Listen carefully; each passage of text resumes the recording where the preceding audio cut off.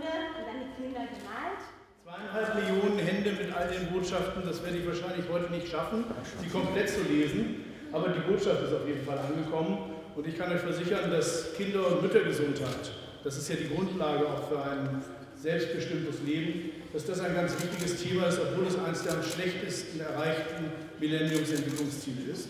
Die Frau Bundeskanzlerin hat beim G8-Gipfel in Muskoka, das ist in Kanada, zusätzlich nochmal 400 Millionen Euro zugesagt, die wir für Mütter- und Kindergesundheit, beides muss man zusammenlegen, einsetzen und äh, einsetzen wollen, über fünf Jahre insgesamt, damit wir hier noch zu besseren Ergebnissen kommen. Seit allen denen, die das unterstützt haben, auch natürlich World Vision, ganz besonders Herr Waffenschmidt, und all denen, die die Kinder dabei begleitet haben, auch vielen Dank.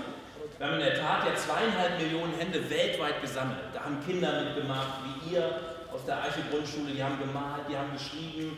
Ein lustiges äh, ist mir so in Erinnerung geblieben, Sie können sich gleich ja mal angucken. Ähm, da wurde nochmal ein schlafender Mensch gezeigt, das sollte ein Politiker sein, wacht auf und tut was. Also, ähm, Sie sehen ganz unterschiedlich aus. Ich bin heute Morgen um fünf aufgestanden. Wir nicht. Wunderbar. Und bei uns zu sein, bei den Schülern. Vielen Dank. Also es haben viele mitgemacht, haben ihre Hand gehoben. Ähm, es gab Aktionen in Indonesien zum Beispiel, da hat mit dem Gesundheitsminister im Land ein Flashmob stattgefunden. 8000 haben landesweit mitgemacht.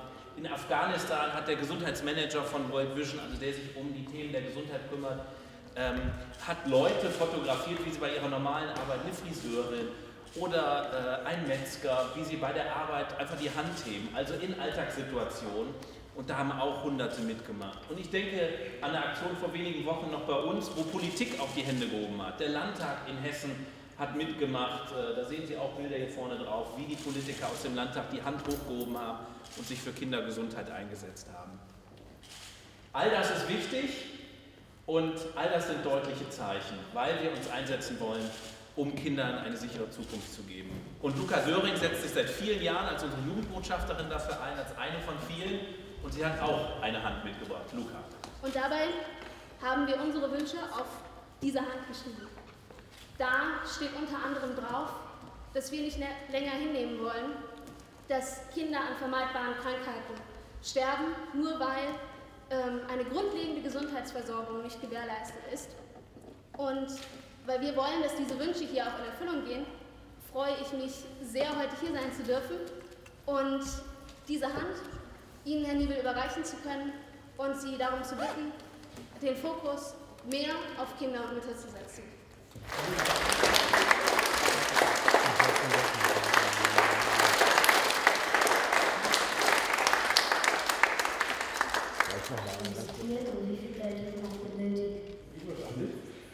Das Entscheidende ist, was wir da gemacht haben also nicht arm sind im Land. Das bedeutet aber auch, dass der Staat viele Steuern haben, verschiedene Instrumente, dass wir zum Beispiel Mütter, die schwanger sind, bekommen zum Beispiel, gerade in den Ländern, wo die Stellung der Frau nicht so gleich ist.